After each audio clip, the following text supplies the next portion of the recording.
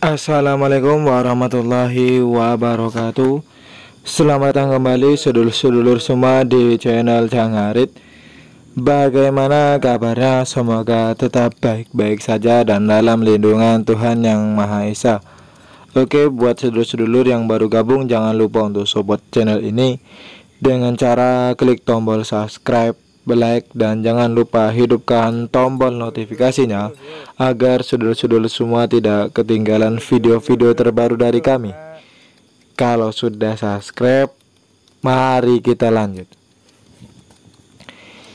Ya, sedulur-sedulur, di video kali ini kita masih biasa aktivitas kita.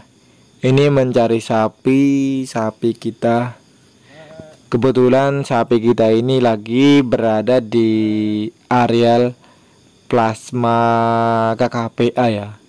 Ini dengan uh, umur batang sawitnya tahun tanam sekitar 2002 2000 sampai 2005 ya.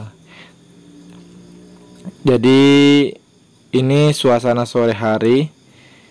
Ya beginilah sedulur suasana dan kondisi yang ada di lokasi ataupun plasma KKPA tentang ya untuk areal makannya saudara ya. Jadi di sini ada sapi-sapi kita. Dia ro sistem rotasi sapi ini. Jadi intinya sapi ini integrasi dengan sawit ini sangat menguntungkan ya sedulur jadi rumputnya dimakan kemudian sapinya tadi mengeluarkan kotoran kotorannya itu diserap oleh tumbuhan sawit dan menjadikan sebuah pupuk. Jadi sebenarnya integrasi, integrasi sapi dan sawit ini sangat saling menguntungkan satu sama lain. Walaupun di satu sisi untuk di tahun tanam satu tahun tanam sampai dengan tiga tahun itu ya masih rawan-rawannya sapi ya. Tetapi untuk proses ke depannya ini kan sama-sama saling menguntungkan.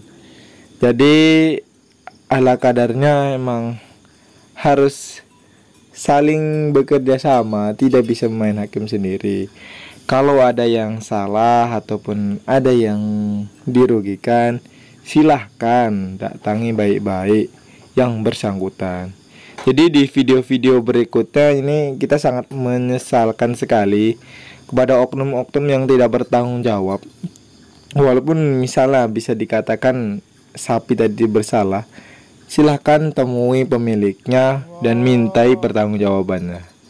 Tetapi pada kenyataannya tidak segitu, saudara.